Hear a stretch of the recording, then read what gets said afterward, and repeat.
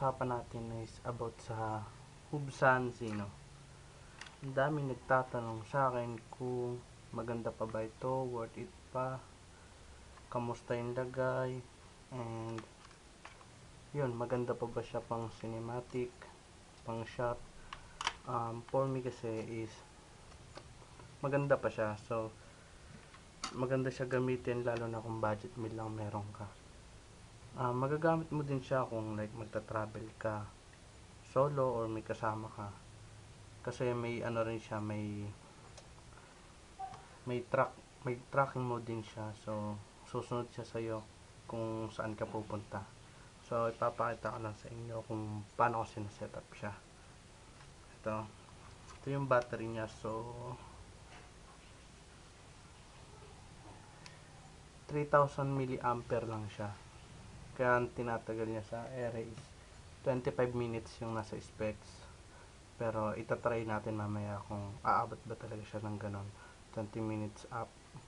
Kasi may nagsabi na yung bagong issue niya is yung update na malakas kumain ng battery kaya kaya ganon kaya akala nila na sobrang baba na ng flight time nito so i-check natin mamaya yan ito muna ipapakita ko sa inyo. Paano siya set up. May gimbal cover din siya. So tatanggalin natin yan. Ganito lang lagi. Freeway lang. Para hindi masira yung gimbal. So natanggal na siya. Ito yung camera niya. 3 axis gimbal na rin. Kaya smooth yung shot ko katulad ng ginawa ko noong nakaraan. Kung hindi nyo pa napapanood so panoorin nyo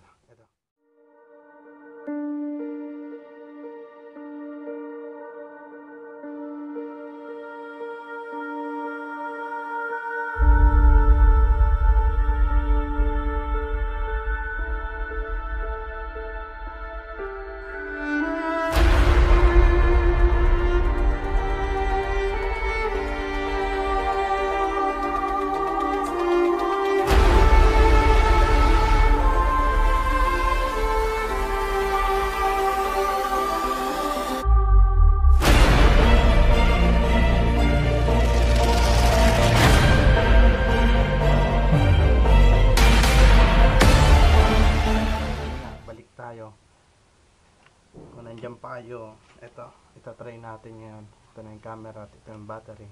Subukan natin.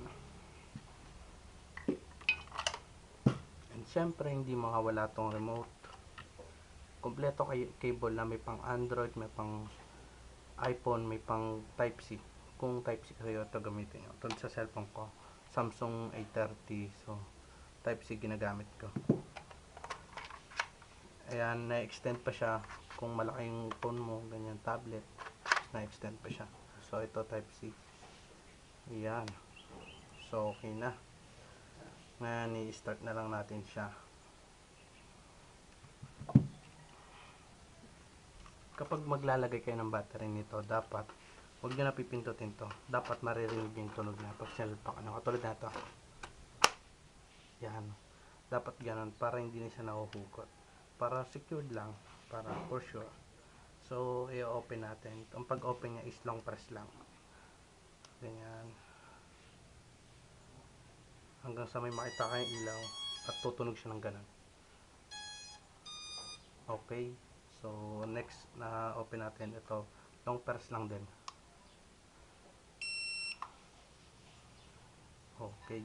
Parang nag-charge na siya. So da-direct na yan sa apps niya once na makonect na yung controller dito sa drone. Hintayin natin ng ilang segundo lang. Ayan solid na. Ibig sabihin na bind na at dumiretso na siya. Skip natin yan. Kung tatanong kayo kung kailangan pa ba ng apps o hindi na. So ginagamit ko hindi na. Ito lang naman i-check nyo lang to pero kung may account kayo mag login kayo and wala pa kayo mag register lang kayo So, ito lang inano ko kasi wala akong account. Ito. Start now. Ito. Tapos, enter device. And, enter main interface. So, yan. Na. Understood. Ayan, nakabind yung aircraft. Yan. Next. Ayan, GPS. So, di tayo makakuha ng GPS ngayon dahil nandito tayo sa loob. So, mamaya itatry natin yan paglabas natin. Kasama yung pag-try natin ng flight time niya. Ito, okay natin dahil wala siyang GPS. Di tayo nakakuha dahil nasa loob tayo. Okay lang natin yan. Understood. Ayun na sinasabi niya ito. Understood lang. Yan. Um, 3 axis gimbal siya kaya pag ginagalaw nyo, kahit galaw-galaw niya to, ayan. Smooth pa rin. Ayan.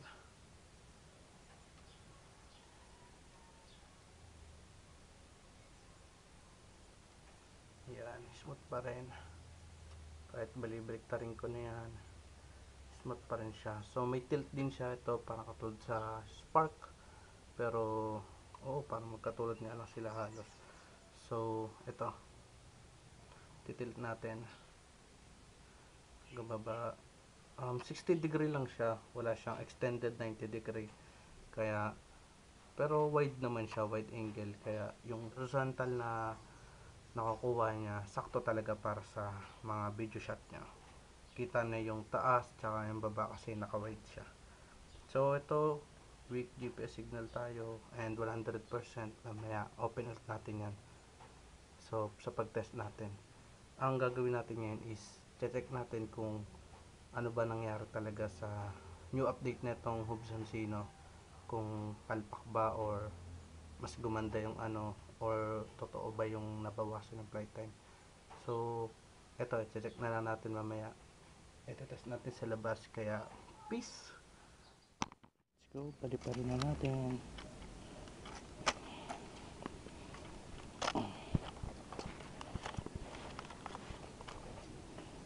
Long press lang.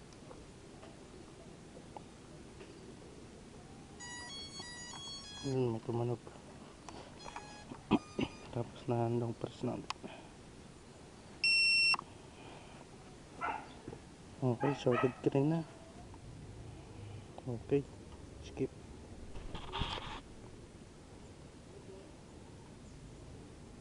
Check, start now. Activities. Okay. And next. Ito yung GPS location.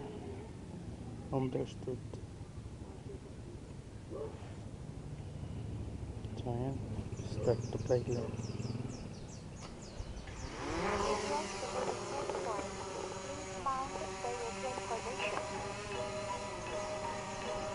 So, 100%. 100% po.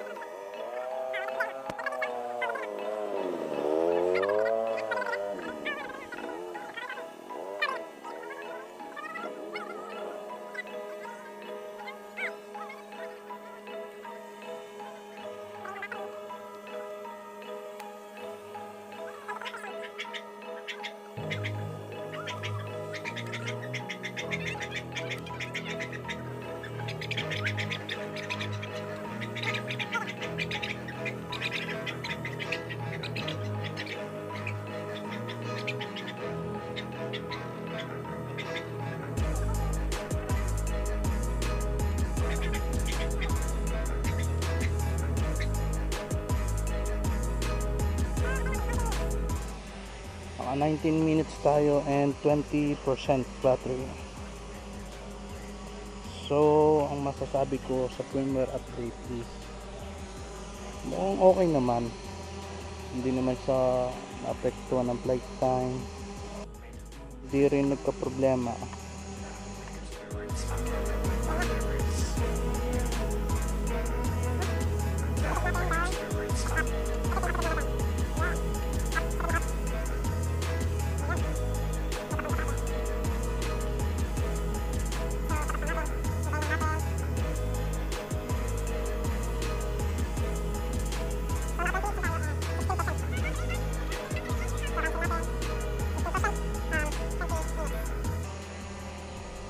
20 minutes. So mukhang wala naman apekto yung sinasabi nilang firmware issue. Wala naman. Yan 15% 21 minutes.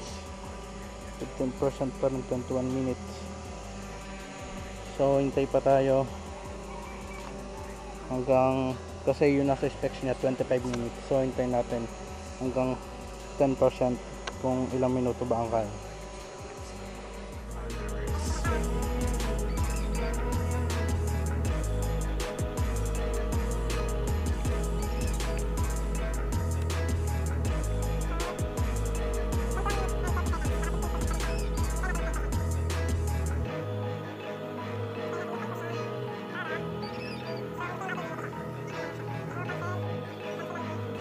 yan 10% na nga siya magla-landing na siya so yan um,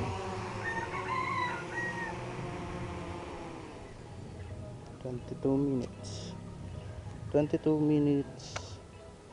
Yeah, sakto 22 minutes. So naka nakakuha tayo ng 22 minutes flight time, hover with record and capture. So yun nga kung gusto nyo makita, ito siya. 10 10% na lang. So dito na nagtatapos. Maraming salamat. Cheers!